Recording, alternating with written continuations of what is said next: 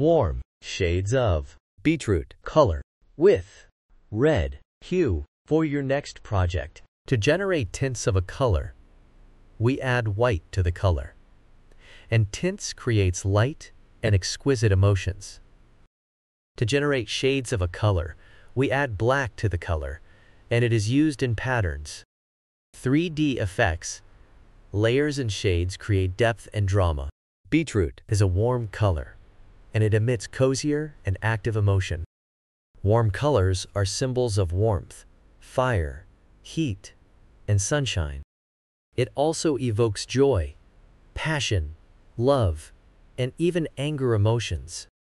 You can see them used in restaurants and gyms,